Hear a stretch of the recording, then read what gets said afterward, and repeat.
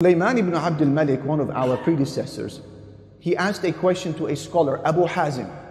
Why is it that we hate the topic of death?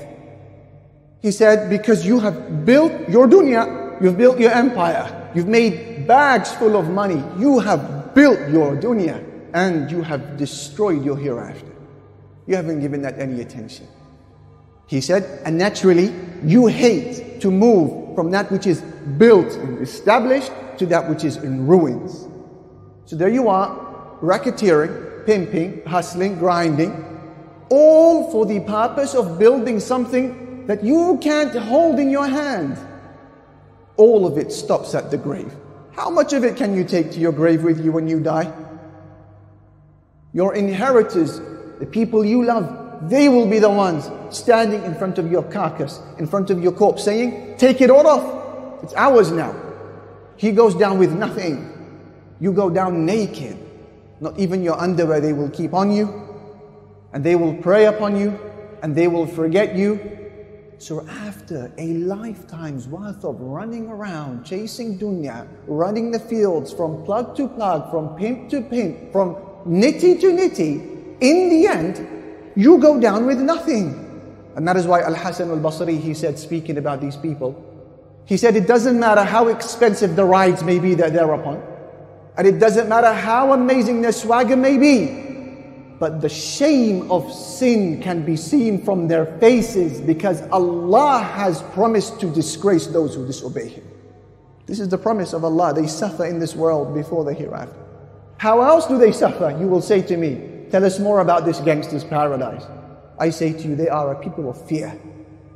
They are scared. They can't walk a, a straight line on the streets during the day or night without looking over their shoulders because there's going to be somewhere waiting out for them, a pagan to put a Rambo through them, to put a zombie through them. There is somebody you have beef with. You fear that someone is going to snake you. You can't even go to the bathroom without carrying scraps with you, a tool in your pocket. Why? Because you're scared. You can't sleep. Another brother from Bradford told me. Alhamdulillah, Allah Jalla Jalalu hopefully has forgiven him. He's moved away from this industry. He said, Ali, tell them this. There isn't a single brother I know in this industry except that he can't sleep at night. So they go on benders two, three days in a row, high as a kite, snorting up coke all night just to get two or three hours in. Mental health issues, fear. You know a lot of these people why they behave the way they do? Why they snort up crack, why they tattoo themselves, why they inject, why they try to find their identity in the music industry, why they do these things, because they're broken inside. A lot of them come from broken families. They are lost. What is a man like me gonna do in this world? So they try to find some identity, some pride in this. You, however, as a Muslim, Allah has given you answers. You know this is the problem. You know the secret to success. You know the potion to happiness. La ilaha illallah. Muhammadur Rasulullah, Allah has given it to you free of charge. فَأَيْنَ تَذْهَبُونَ Allah asked, where are you going? Where can you go? Allah asked, أَلَمْ يَعْلَمْ بِأَنَّ اللَّهَ يَرَى Does you not know that Allah can see? You think you can evade Him? The King, Al-Malik, Al-Ma'bud, the Supreme, the Sovereign. Might is His, power is His, and the sky above you is His. The earth beneath you you walk on is His. The product you're selling is His. The limbs you're using to disobey Him, they're His. It's all on loan, it's all on tick. You gotta give it back. Where can you go? That is one authority you cannot evade. Here also, I want to give a quick message to our sisters who look up to these boys. That is exactly what they are. They're boys, they're not men. They don't know the meaning of manhood. Our sisters who look up to these boys, maybe her father had put her under extreme restriction in her home so she sees this roadman, this gangster, and he represents a certain thrill and excitement that she never had in her life. Maybe that's the reason. Maybe it's the money, maybe it's the car, maybe it's the display of confidence. These are attractive things to a woman. What is interesting is that that very same young girl, give her one or two years, she will be the one who will turn around and say, It's all a con, it's all fake. But it's too late for me now, she said. She said, The money, that was just an image. That was all rented. The car, the Bentley, an image. It was rented for a 3 minute 40 second video. And he had no lions in a cage. And his confidence? Yeah, right. She goes, his confidence is riddled with paranoia and anxiety. He can't sleep, taking all sorts of meds. He comes home paranoid, snapping at any creak he hears in the house. She can't have a conversation with him. She says to him, You come home high as a kite every single night. We can't even talk. We can't live. And he gives her a black eye. And then she says to him, Can you go upstairs and see the kids before they sleep? And then he punches her teeth in and he rips her hair out. And next thing we know, we find our sister on the streets, roaming the roads, trying to find a woman's refuge to find some escape. Whilst I don't justify any of this behavior, I find no excuses for it. But I ask my dear sister, who's my daughter, who's my sister, I say, why do you accept this trade off? Why you overlook that Muslim gentleman of haya, of shyness, a righteous man who works, who brings in halal money to feed you and your children, whose mind is yours, whose wealth is yours, whose health is yours, whose religion is shared with yours, whose children are yours. Why you replace that purity, that khair, that goodness, that upright behavior with a boy who sees nothing but his mirror reflection and pursues nothing but his desires? And I give a message to my young brothers who may feel pressured after time to pretend to be something that he's not because he realizes that as a practicing Muslim, there isn't much demand for your likes. And so he starts to concede and give up some of his principles and starts changing the way he talks and invests in new gear because in the hope of bringing in a girl. I say to you, Akhi, stay patient, Habibi, stay patient. Yeah, be patient because those are not men, those are boys. What is a man? What is a man today in the eyes of many of our youth? A man is someone who is wearing a nice gout, Rolex, a 1,000 pound Armani jacket. He's sat in a Bugatti, a black girl on one side, maybe a white girl on the other side. Two or three Latinos hovering around, girls from high school that they're helping him out in his video, in his fake image, and serving up crack to his community and singing about what he snorts up in the evening. That's a man, accordingly, according to many of our brothers and sisters. What is a man? Men are whom Allah Jalla Jalaluhu has described in the Quran when He said Rijal, men لا تلهيهم تجارة ولا بيع عن ذكر الله. Men, they are those who are not distracted by business and commerce from the remembrance of Allah. وإقام الصلاة and the establishment of the prayer. وإيتاء الزكاة and the giving of zakah. How come?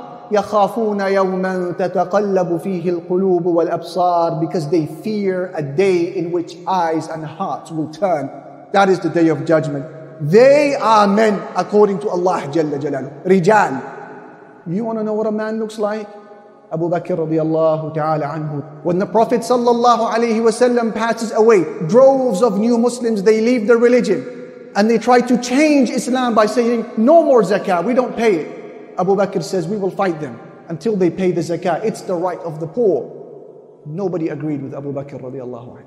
The entire Muslim community was against him. Even mighty Umar himself, radiallahu anhu, he says, leader of the believers, we're not ready for this war yet. And Abu Bakr radiallahu anhu grabs him by his clothes, pulls him to his knees, and he says to him, you were a tyrant when you weren't a Muslim. And now that you've become a Muslim, you've become a coward? He said, انقطع الوحي, no more revelation from Allah.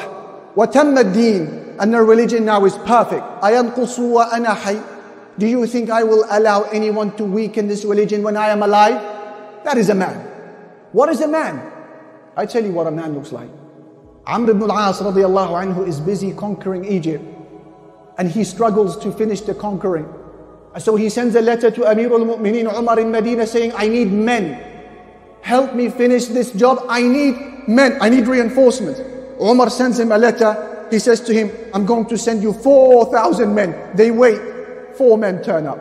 Amr ibn al-As, he says, I told you we need men, we, we need reinforcements. You promised us thousands, you've sent us four. He said, I have sent you 4,000 men.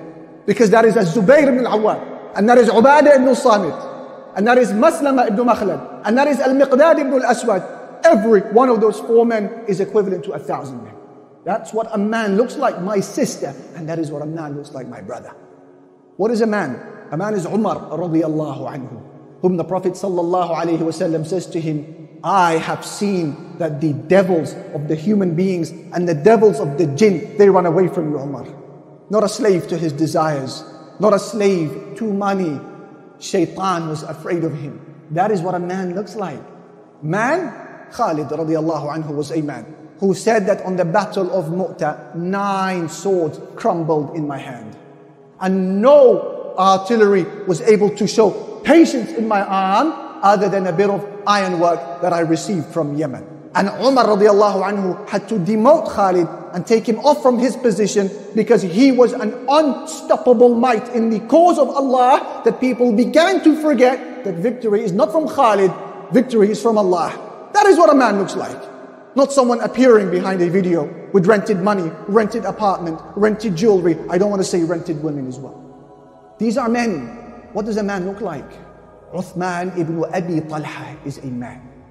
Uthman ibn Abi Talha sees our mother Umm Salama on her way from Mecca to Medina by herself. They made her suffer. They took away her husband. They disabled her child. They were now in Medina and she's by herself in Mecca. She is detained. Finally, they saw her crying so much they felt sorry for her. They said, Go, go to your husband in Medina. She makes her way to Medina. That's a two week trip, by the way. 500 kilometers on foot. Uthman ibn Abi Talha sees her. He said, Umm Salama, where are you going? She said, I'm going to my husband and my children. He said, Who's with you? She said, No one except Allah. He said, I will not let you travel by yourself. I will take you. That's a pagan. Look, he has an opportunity now to be alone with a woman, one of the most noble women of the Muslims, all by himself with her in a desert for two weeks. And by the way, he had beef with the Muslims, Uthman.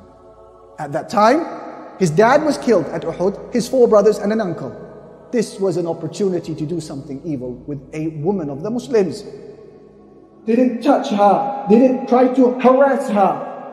And he did that for two or three weeks, making his way from Mecca to Medina, 500 kilometers on foot, till they got to the gates of Medina. They're now in Quba. He said to her, You see that tribe? She said, Yeah. He said, Your husband is over there. Go and join him. And he waited until she disappeared. And then he turned back 180 degrees making his way back to Mecca, another two weeks worth of travel in the desert by foot. Was that for Allah? Was that for Allah? Was that for religion? That's a pagan. He's a man. Rajul. Our mother Umm Salam, she comments, she goes, I don't know of a family who has suffered in the cause of Islam more than my family. And I don't know of a man who is more honorable than Uthman ibn Abi Talha. And Alhamdulillah, Allah honored him with Islam and he took his Shahada because a man like him deserves the religion of Islam. These are what men look like. Manhood is about knowing that Allah has rights. Mom and dad have rights. My siblings who look up to me have rights. My masjid has rights. The Muslim community have rights. The non-Muslims have rights. My lungs have rights. My liver has rights. My soul, my health, my mind, my money has rights.